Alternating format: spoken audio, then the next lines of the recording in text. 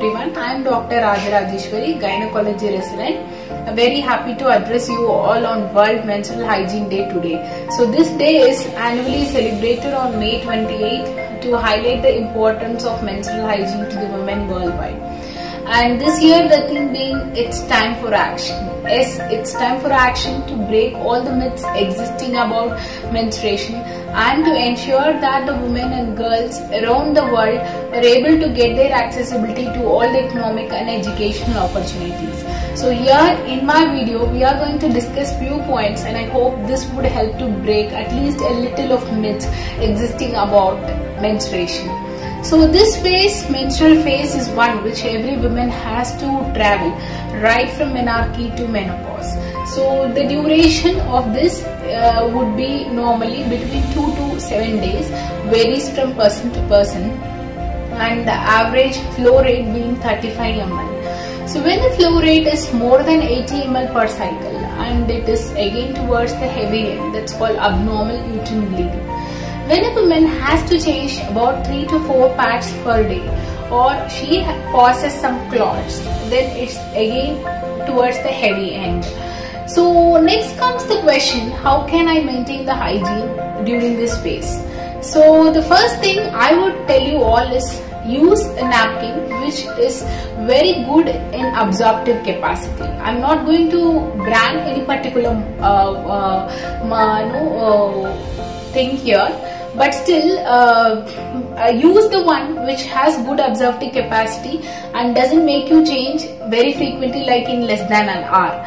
So the ideal one is to change a napkin like 3 to 4 hours once and uh, the next question is can I use a cotton cloth or a tampon or a menstrual cup instead of a napkin.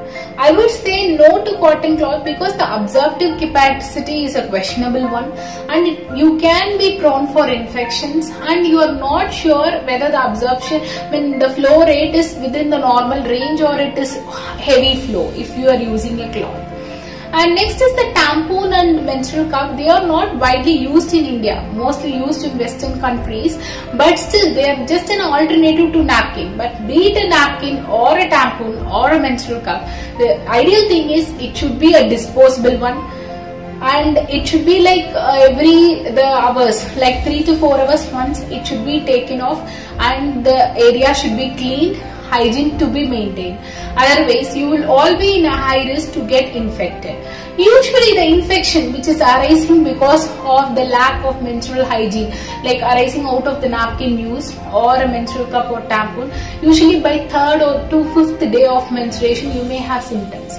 Like this can even make the person to go to a very critical state called shock. So, take home message from this video is please all to maintain menstrual hygiene no hygiene during this phase. And do not think this as a burdensome phase. Please it's a prideful thing like you know this is a physiological thing that's the, nothing but shredding of your endometrial lining. If the woman is not pregnant for the cycle so just feel pride. That means if the person is not pregnant it's a indicating sign right? Menstruation is an indicating sign for that.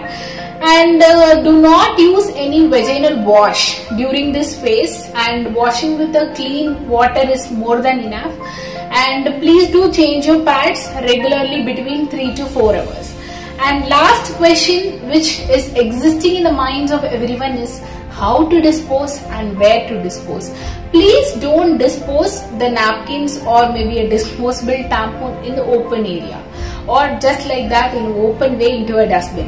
Please do wrap it in a toilet bag, a toilet paper or in a waste bag and then dispose it.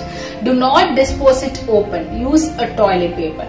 And do not flush them in public toilets or maybe in your house even. Don't flush them into toilets. Like please do wrap it and uh, there are something called uh, menstrual napkin incinerators so incinerators basically are nothing but they burn out a napkin at a very high temperature like 800 degrees celsius so some people have question can i burn my napkin after i use it?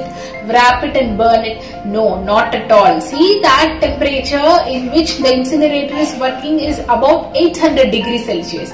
So which is not possible uh, when you burn it off. So the ideal thing is please do dispose uh, by wrapping it in a toilet paper or a waste bag. Not discard it open. Okay? Not like open way so thank you all. Please keep watching the videos and uh, just at least share a word about menstrual hygiene hygiene to all the girls and women around you. And please do keep sharing this video. Thank you